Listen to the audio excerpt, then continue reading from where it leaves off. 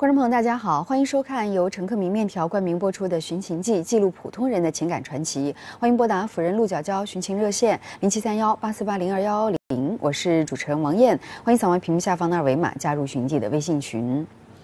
三十一岁的刘星是四川人。八年前，他不顾家人反对，为爱私奔，从千里之外的四川宜宾来到了湖南湘潭。为了追随男友，他不惜和家人反目，身无分文，也没有任何证件，就这样孑然一身偷跑出来，从此远走他乡，和家里断了一切联系。然而八年之后，眼看着女儿都上小学了，她和男友却迟迟没有修成正果，恋情反倒分崩离析，留下她独自带着孩子住在县城的出租屋里。八年时间，她和男友到底发生了什么？轰轰烈烈的爱情为何转眼惨淡落幕？如今，男友抛下母女俩，又去了哪里呢？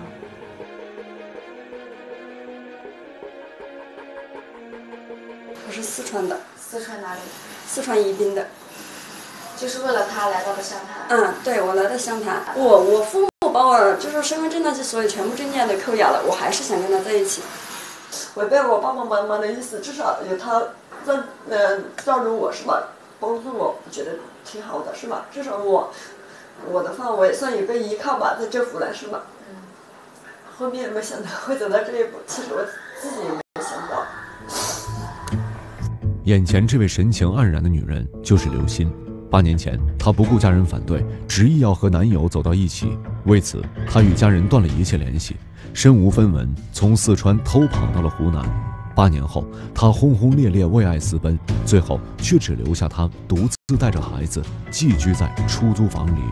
早上我们两个人吵架，晚上他就把房子，下午的样子我就没回家嘛，他就把房子啊，房租的押金全部退了。那个房东，嗯，他就说他去外地了。他也没，他也没告诉我他去外地啊，他就说他说我要去外面工作了，然后就就一文不一天不声的去了外地，我也不知道去哪里了。那一天，男友突然毫无征兆的退了房，随后整个人消失不见踪影，丢下母女俩流落他乡，无处可去。刘鑫带着孩子崩溃大哭，三十一岁的她为了爱情付出了真心。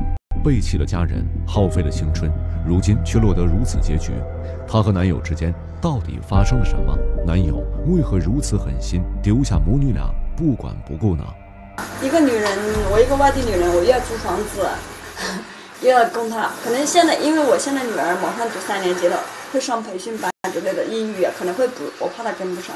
经济上面，我也希望她就说负担起这个责父亲的责任。男友离开后，刘鑫在湘潭孤苦无依，即使再低的房租，刘鑫必须努力工作才能维持母女俩的生活开销。男友究竟去了哪里？他为何突然不告而别，丢下母女俩呢？最近，刘鑫听说男友回来的消息，她决定找到男友一问究竟。刘鑫的男友名叫赵坤，今年二十八岁，从十八岁开始学厨，一直在外地四处打工。前不久，刘鑫从朋友那里得知，赵坤回到湘潭，开了一家餐馆。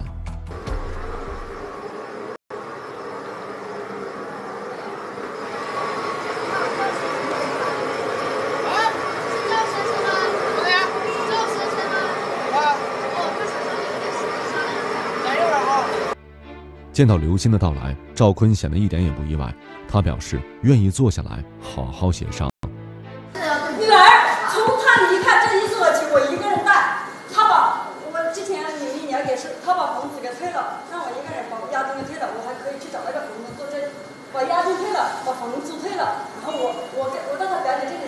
你那个是，你那个是女儿在你这里吗？你听我说，那是我就没办法。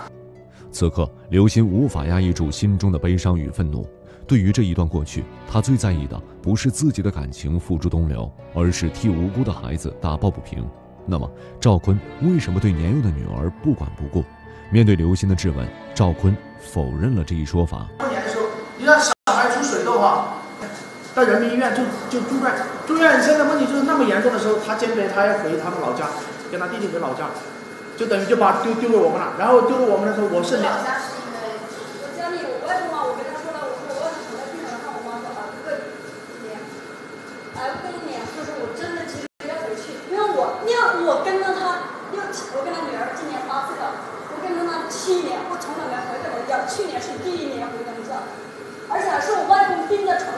我妈说啊，这个年，哎，过一年，就是我真的其实要回去，因为我因为我跟着他六七，我跟他女儿今年八岁了，我跟着他七年，我从来没回过人家，去年是第一年。我还当着他爸爸，我说我也是女儿，我也是做妈妈的人，我说你们理解一下我的心情。如果我不回老家，我从来没有找过他们任何事情。赵坤说，刘鑫虽然自诩为一个好母亲，可是却在女儿生病之时一走了之，不见人影。赵坤由此心生不满，两人发生了激烈的争执。刘鑫解释，当时事出有因，离家八年，四川老家第一次打来电话说外公病危，他心急如焚，连夜赶回了家，而这也是他为爱出走八年之后第一次回家。没想到两人却为此针锋相对。可是昔日的恋人冲破重重阻碍，坚定不移走到了一起。八年的相守，难道就败给了区区一次意外？他们的爱情为何如此不堪一击呢？这小孩的问题，我我那个时候说的很清楚，要么我带，你我不让他一分钱抚养费，啊，反正就是你想看，你随时来看，都可以，这很说的很好，啊，然后他不愿意，他不愿意，他小孩他要他带，好，你带怎么样？你带我出抚养费就是这样。抚养费到位了。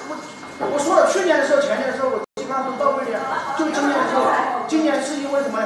今年今年就是因为去年年底小孩出手术的事情，就就发生矛盾了。发生矛盾了之后，这个事情一直没他没跟我他他没跟我来商量说好。那我这个钱我也不说不给你，哪怕就说这个钱你一一年多少钱，你哪怕到小孩十八岁。赵坤说自己并非冷漠绝情的负心汉，对于女儿，他更是竭尽全力想要给予她应得的关爱。此前，他也一直按时支付孩子的抚养费，只是最近半年有所疏忽，而这种疏忽也全是刘鑫自己造成的。赵坤所说的究竟是真是假？他与刘鑫之间到底发生了什么呢？你的孩子都是我什么叫我一直没管呢？是没有在女儿的身边。我怎么会没有在女儿的身边呢？说话要公平，对不对？那你可以说一下，现在做法对女儿是否照顾？我跟你说，如果说两个人一直在这纠缠不清的话，换的是任何一个女人谁都受得了。他有纠缠不清。我也纠缠不清吗？今天一个电话，明天就信，你什么意思？正当刘鑫与赵坤争执不下的时候，旁边突然出现了一个陌生女子，她大声指责刘鑫经常过来骚扰赵坤。她是谁？对于刘鑫的到来，她为何显得如此愤愤不平？听到她的责难，刘鑫也变得愈发激动起来。不要，不要打人啊！哎，我现在在跟你协商女你不要跟他吵，你不跟他吵，他没跟你说话，你你不要儿。说话，你不要说话。跟你说关系。要不要？我说不要。你的女儿要不要？是不是你的？我是说我女儿，我说是不是你的女儿？你女儿说对他不好，好了，行了，好了，好了，你先你先别说，我对他不好。你本来说的好，你要你你你先别你先别好。你对我女儿好吗？我对女儿不好吗？对我女儿好，我女儿会这样吗？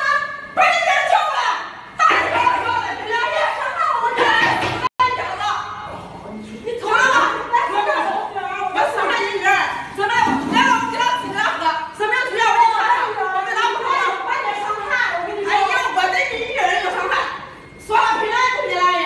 凭良心凭良心，凭良心。好，你女儿自己说我对她怎么样？你们我对她怎么样？啊，对她怎么样？眼前的女人到底是谁？为什么会对刘星的到来反应如此激烈？当年赵坤与这两个女人之间又发生了什么呢？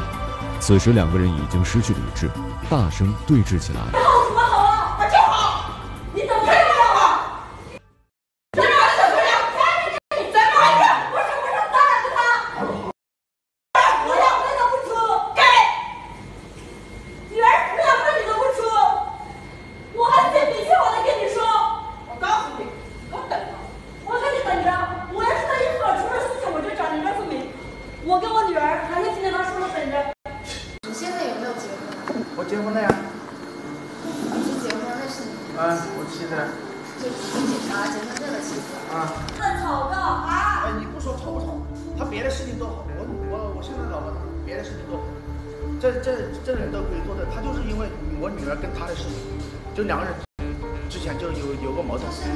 赵坤坦言，这个女人是自己的合法妻子李梅，这到底是怎么回事？当年刘鑫抛弃一切，只为追寻真爱，八年的爱情没能修成正果，如今赵坤却在维护着另一个女人，这让刘鑫内心十分不满。最终，他们协商无果，三个人不欢而散。十年前，十八岁的赵坤在珠海遇见了二十一岁的刘星。刘星开朗活泼的性格深深吸引了他，两个人很快走到了一起。可是赵坤的家在湖南农村，和四川相距甚远，家境又不好，所以这一段恋情从一开始就遭到了刘星家人的强烈反对。后来，刘星意外怀孕回到老家，没想到被家人严防死守，失去自由。为了爱情，他孑然一身偷跑出来，从此生下孩子留在湖南。可是八年之后，他一个人带着孩子流落他乡，就连女儿的基本抚养都成了问题。那么，刘星和赵坤之间究竟发生了什么？当初拼尽全力争取得来的爱情，为何遭遇如此变故？李梅的意外出现，又到底是怎么回事儿？这里是赵坤在湘潭的老家。当年刘鑫不顾一切偷跑出来之后，他便来到这儿安顿下来。可能是去年他们家就是说可能再婚了吧，然后就搞的装修。以前我来这里的时候，这全部是土的，然后这个十字绣嘞还是我绣的，这些还都是我绣的，那是我自己绣的。然后以前这个墙壁上啊，全部是我跟我女儿的相片，现在都没有了。这个墙壁。哦，你们是这间房是嗯，这个嗯，这是呃他爸爸买给我们，后面不是我在这里来住了嘛，然后他爸爸就买了这个床给我们，然后我们一直睡这个房间。以前这个墙上全部是我女儿跟我的照片。曾经，这个家处处存留着刘鑫的回忆，可是如今，她的一切却在一点点被改变、被取代。曾经，她和男友的父母相处甚好，老人已然把她当自己的儿媳妇看待。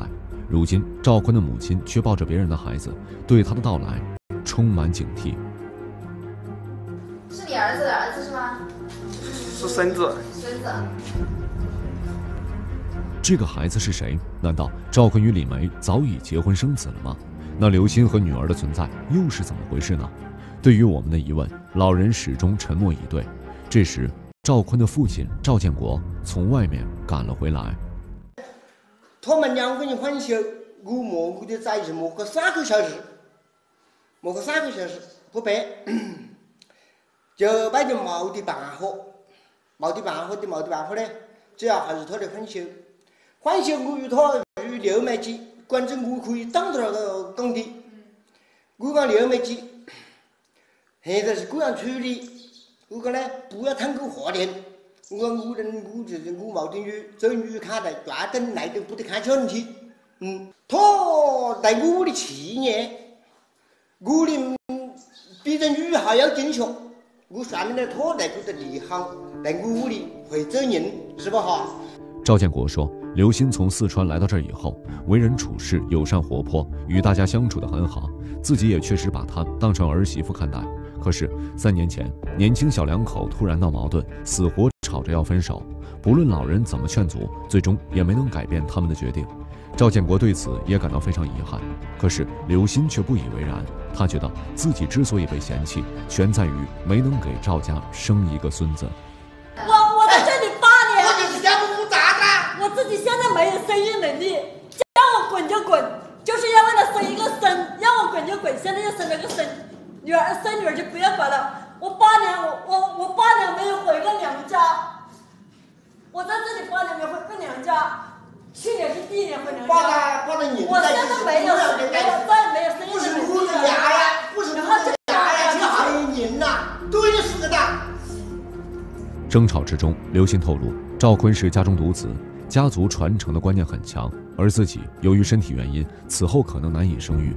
刘鑫认定，这才是导致双方关系破裂的根本原因，由此他也就更加担心女儿的抚养问题。我我那个给我那你儿子出过一分钱抚我的养费了。大，要晓得这大，小要晓我在这得这小里生活了七，八要年，你儿提醒子找到了。你只看那一次，就是他生了重病，他有急事回了四川。对了没进来？我七他一，次一次过，他耍气的就会，把你过个年都会。我七年没有回过娘家。是不是有急事才回去的？哎，你这个哎，你这个哈，你这个哈有事情。人家他的生命要紧，那是还是他屋里的事要紧。所以你们很伤心了。啊，我这就很伤心。女儿病重住院，刘鑫却回了四川老家，就这样将孩子丢给赵坤。赵家人对这件事一直耿耿于怀，也让他们对刘鑫彻底寒了心。此时，刘鑫将心中的委屈和愤懑全部发泄在赵坤的父母身上。他回娘家那一次，是你在照顾孙女，才救回了孙女一条命。啊，啥子有了这个，赶我该到院头就找不到。我们可以到医院去叫医生证明。有的意思搞到我光，没得良心。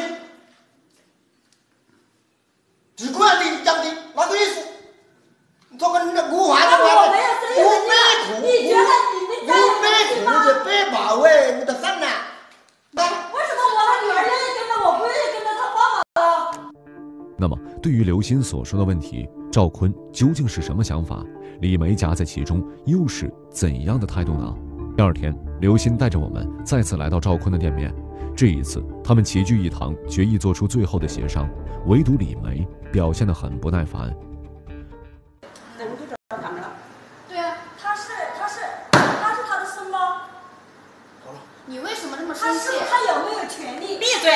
你闭什么嘴呀、我跟你说过了吗？我跟他提出来了吗？我为什么不能来？你不能来。是我女儿的事，他为什么不能来？我为什么不能来？我为什么不能来？好了，你不要跟我喊女。儿是我给他生的。啊，行，我知道，是的。你今天幸亏我没有你今天是来找我的。我真的有的话，我真的要不起那样的女儿。我跟你说但是他为什么这么？我的女儿有错吗？而且他这个态度，你的女儿没有错不是你的女儿没有错。你认为让我的女儿在这种环境下生活，你认他为可以吗？他他其实两个女人再次见面，李梅的情绪依然十分激动。赵坤坐在一旁，显得格外冷静。一个是相恋八年的女友，一个是名正言顺的妻子，两个女人都为他生儿育女。事到如今，他该如何解释这段复杂的关系呢？要求就是说你要把这个事情了解清楚，是吧？对，这个事你现在情你为什么一走对了之，没有给他一个交代？哎，可以啊，我我们就就在这里说嘛，他哎，也想知你自己说好了，干嘛？呀？他也想知道。我想知道为什么。好，他就在这说。啊，你你有什么疑问你问。我跟他是什么时候在一起的？他们分手之后，我们分手之后，我们我去安徽啊，我去安徽上班呀、我跟他。安徽人。对啊，赵坤解释，他与刘鑫早在三年前就分手了。之后，他只身一人去到安徽打工，在那里结识了现在的妻子李梅。一年后，赵坤与李梅领取了结婚证，并生下了一个儿子。对于这些，刘鑫表示毫不知情。青涩的恋情总有波折，他以为分手只是暂时的。赵家亲人也一直从中劝解调和。他认为赵坤生气过后还会回来。我们两个之间这是为什么？为什么分的手？为什么呢？为什么吵的架呢？他说你们就是很多琐事都吵，嗯、你知道你为什么天天吵架的话，你说两个人在一起有什么意思呢？那为什么会吵呢？为什么会这吵？这人性格不合呀。他性格，他性格性格，他性格，他性格比你不是，你不是看你，你可能了解的少。他性格的话，你说一般人是我是忍受不了。不是说我就要分手，啊，这两个人就一起都是这都是都是两个人吵架吵了吵了以后，我说我说两个人分手，他都签了字的，都那个时候签过签过签过协议他拉着我的。的手在这里面签的字。我拉着你的手他签说女儿归他抚养，归他来抚养，我什么都不管，然后我净身出户滚出去。这话确实是的。赵坤言辞笃定，他说当年分手并非小打小闹，两个人是正式签了分手协议的，而且还有亲人在一旁作为见证。协议签订后，他才退掉租房离开去的安徽。可是恋人之间正常分手，为何还会另签协议？分手协议的具体内容又是什么？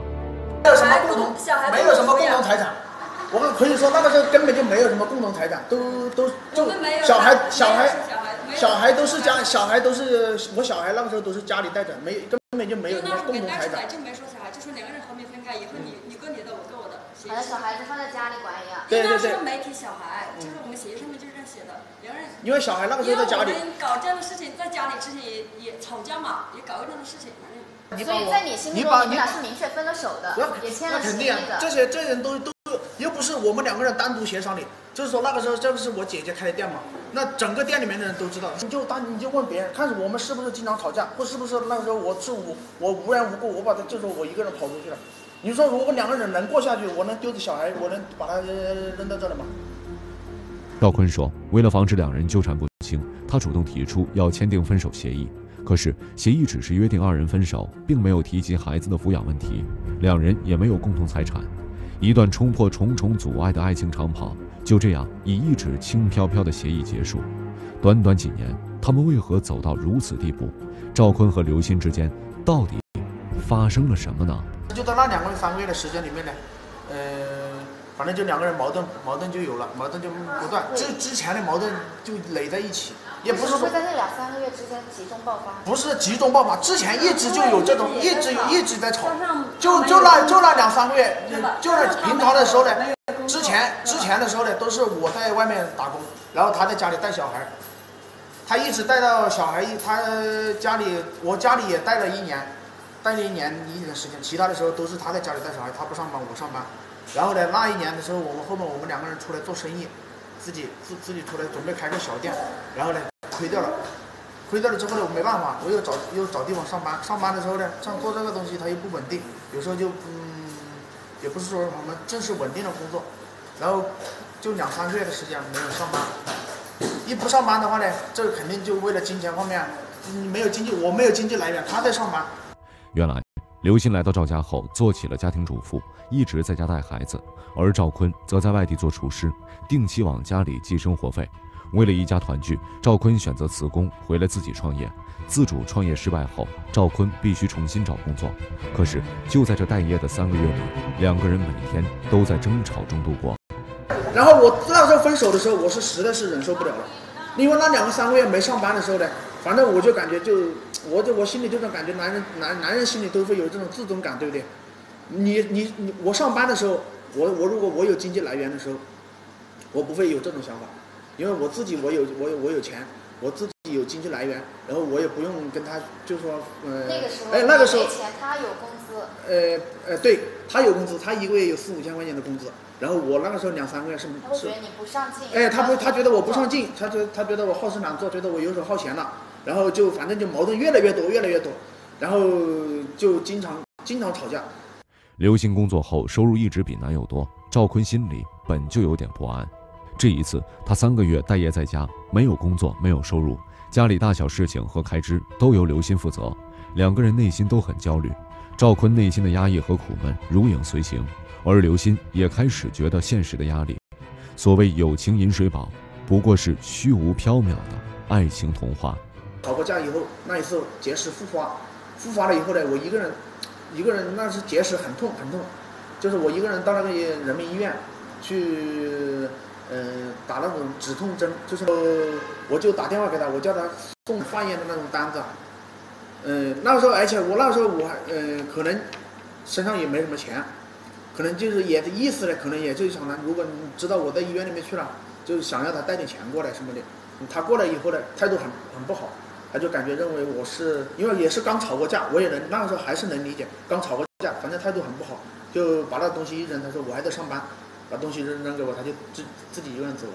走了之后那一次，反正我就感觉心挺寒的，心挺寒的。后面还过了又过了一一段时间，就天天吵，天天吵。所以最终就爆发了。爆发那一次之后，我就我就当着他们所有人的面，我说反正，嗯，我也我也不想再这样过下去了。后来赵坤生病入院，刘鑫冷漠的态度成了压垮这段恋情的最后一根稻草。其实聚少离多的生活已经让彼此不再像以前那么了解，地理上的距离也就变成了心理上的隔阂。一旦开始争吵，两个人就像是长满刺的刺猬，为了保护自己不受伤害，而去狠狠的。伤害对方。开始的时候，我就是我就是为什么之前一直我跟你说我忍了那么久，就是因为之前我就觉得他，我挺就是说感觉他为了呃为了我呢，他一个人跑到上海去哈，就就不顾家里面的反对，就等于就跟家里面断了联系一样的，就这样为了我过来了。我确实也挺心疼他的，也挺愧疚的，对不对？我所以一直就是处处忍着，两个人哪怕吵架之后，嗯，家里人说说，然后又又又和好了。和好之后还是一样的，但是嗯，到了后面就就就那几个月，刚好那几个月就是因为，嗯，就是跟你说嘛，那几个月我没上班，然后他又上班了，一个月能有四五千块钱一个月了嘛，我就觉得，嗯嗯，我就觉得两个人想了，他一个人应该也够养活自己了，他哪怕就就不需要我离开我，我们两个分开了，他一个人也能也能好好的生活下去了。赵坤并不是一个无情无义的人，他本着对刘鑫和女儿负责的。态度选择继续维持这段感情，但是两个人在连续吵了三个月之后，矛盾实在无法调和，反而愈演愈烈，两人最终惨淡分手。回想当年，刘鑫不惜与家里决裂，选择追随赵坤。如今，赵坤不顾家里反对，决绝提出分手。这戏剧性的转变，不禁让人扼腕叹息。算起来，赵坤和刘星今年也不过三十出头的年纪，可是这一段恋情却分分合合纠缠了近十年。这十年，因为爱情，刘星为了男友背井离乡，在湘潭生活。他们宁愿克服万难，也要在一起。可是得到爱情后，赵坤却为了生活，只身在外奋斗，彼此忙忙碌碌，最后不顾一切，又要分道扬镳。爱情在青涩萌芽的时候，刘星漂亮能干，赵坤体贴温柔。爱情步入现实的时候，明明是同样的人，明明还是同一段恋情，却在现实的打磨中变得面目全非。有人感慨：“天若有情天亦老。”可是爱情发展的结果不是天意，最终在人心。分手三年之后，刘星才彻底明白，这个人不会再回头了。可是孩子怎么办？未来怎么走？八年前，他为爱私奔逃离老家的时候，就截断了自己的退路。如今爱已成空，他独自带着孩子流落在外，最终又该如何是好呢？我到这上网，我们是在同一个网吧上网认识的。那段时间他对你好吗？就是谈恋爱。挺好，挺好的。就是我我想吃什么，哪怕是就说，呃，再晚或者半夜三更的，他可他都会去买。反正就是这样。嗯嗯，因为我们在一起没多久，我就怀孕了嘛。嗯。没多久就怀孕，他对我也挺好的。然后就他爸爸妈妈也会经常打电话问啊，嗯，要他嗯好好照顾我，怎么怎么的，这些都会问。那个时候的工资都会给你？给啊，他会买。全部上交给你？也不是说全部上交，因为我们两个人的钱都在一起用。刘鑫出生农村家庭，家中姐弟二人，弟弟比她小四岁。作为长女，她一直是谦让照顾。受委屈也只能偷偷哭的那个人，为了给父母减轻负担，他高一就辍学出来打工。打工的日子枯燥而孤独。好在赵坤出现以后，给了他爱和温暖，年少的缺失通通得到弥补。为此，他的爱情虽然孤立无援，却注定走出了那一步。我在家里住了四五个月啊，看一个肚子就好大了吧。然后我说：“我说在家里瞒不下去了，我说我要到你那边来。”他说：“那我没钱了，那你要来的话你自己来。”然后我就 偷偷拿了我妈五百块钱，非常清楚。我我们家是农村的，卖的那个蚕茧啊，就是那种嗯养蚕那种蚕茧嘛。我妈刚卖了，然后就放在那衣服里面。我就那天早上我就拿了我妈五百块钱，我就走。在那个年纪，爱情是刘鑫心目中最神圣的一件事，而家人成了他眼里追求幸福的绊脚石。他偷偷拿走了母亲积攒已久的五百块钱，然后毫不犹豫地逃离了家乡。他以为自己终于抓住了幸福，谁能想到最后却落得如此结局？听说人人都告诉我，他说你老公根本就不喜欢你。他表姐也看得出我们这段感情，你知道吧？他表姐说过，他说，他最后我们两个分开之后，他表姐说分开我对我来说是一种解脱。他知道这段感情可能是我单方面的。他说他肯定就是说出于一种责任吧。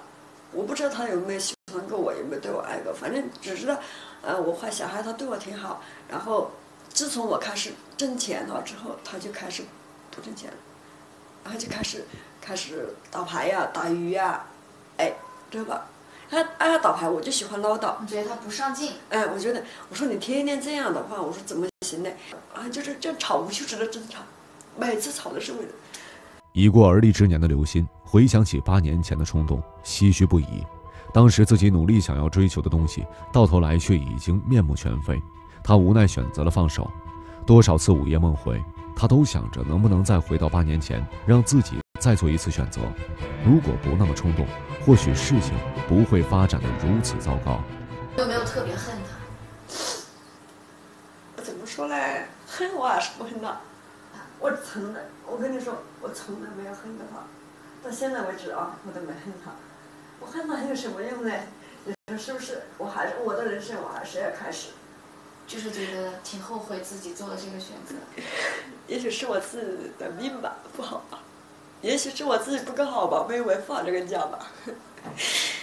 现在唯一支撑你的点就是女儿在身边。女儿是。一切都是为了女儿。是。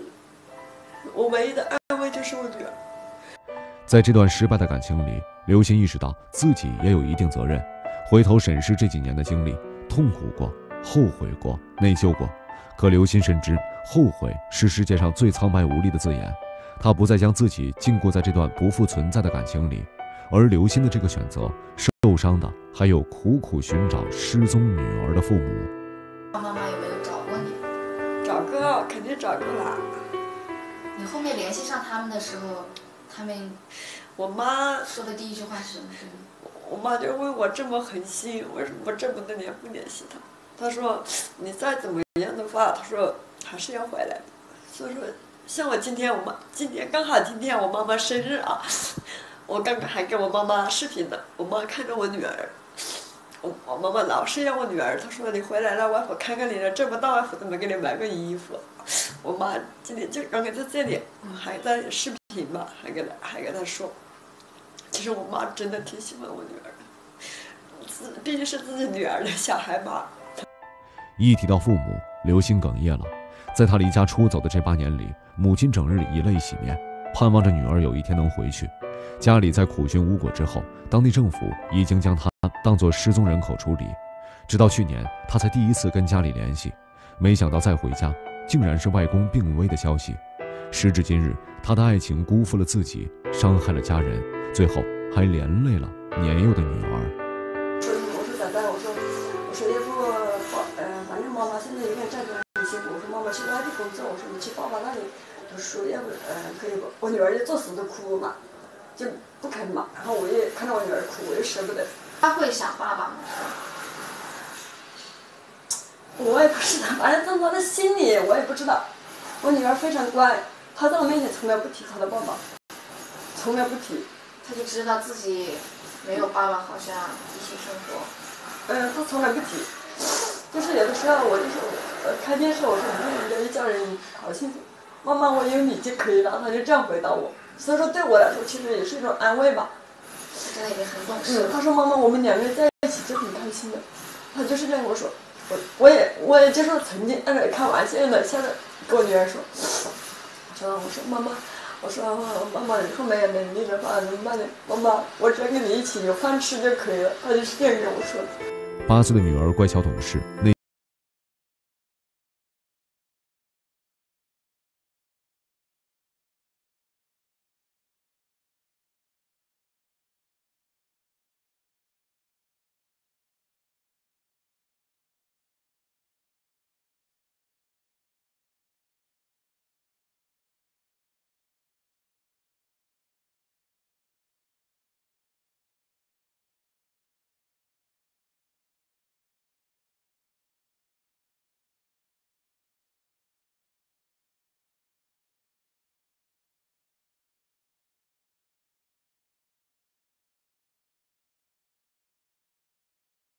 只剩下女儿的抚养问题。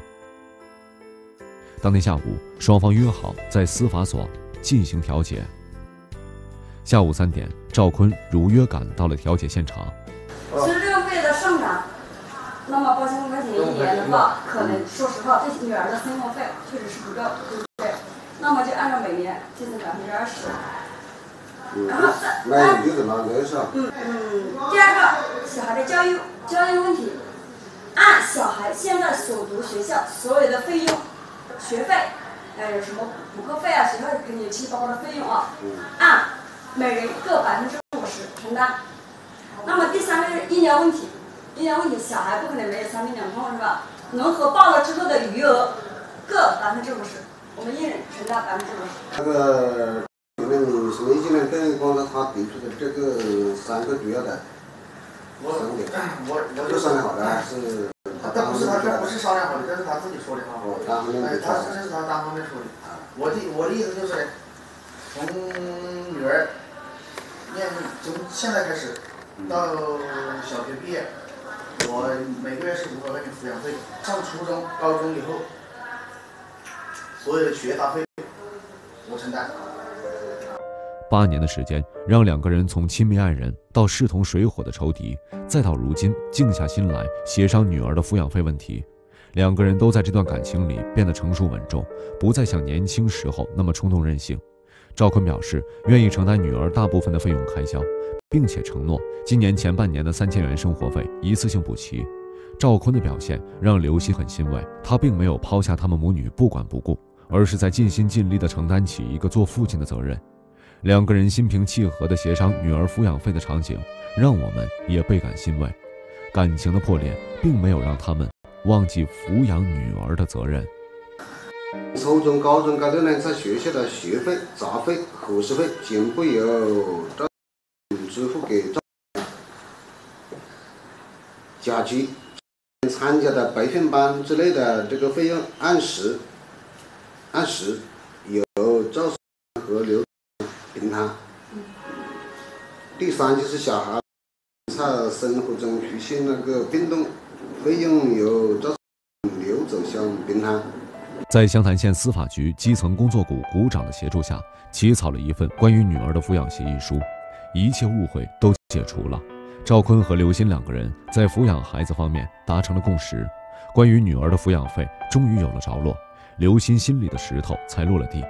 赵坤在签完协议后，马上给女儿打了电话，表示以后会经常去接她放学。不难看出，刘鑫与赵坤两个人都是为了女儿着想，在抚养女儿这方面没有半点推辞。女儿的抚养问题解决后，两个人的心结也彻底打开了，不再猜忌，也没了指责。更不会怨恨。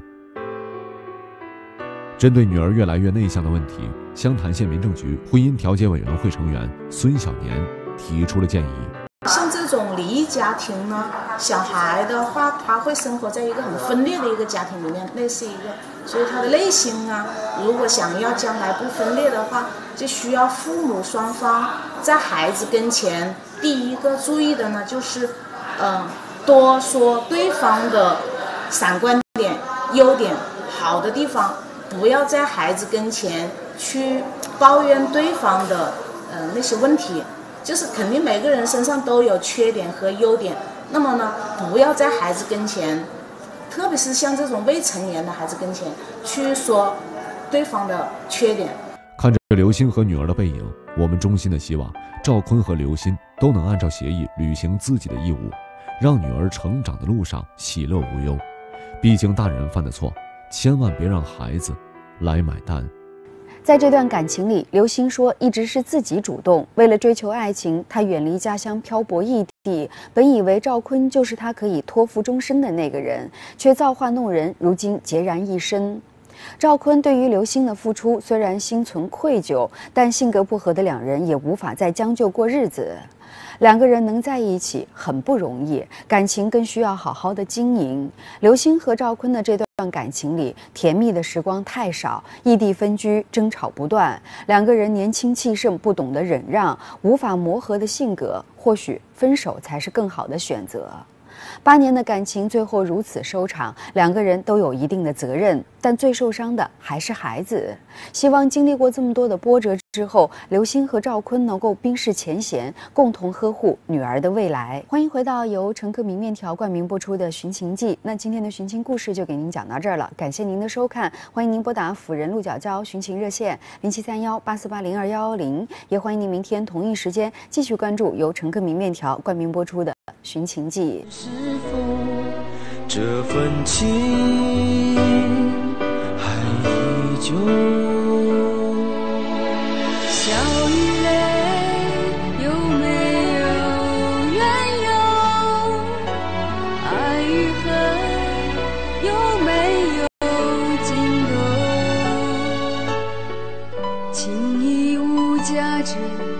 爱无需理由寻找一个渡口，寻找一个渡口，把自己收。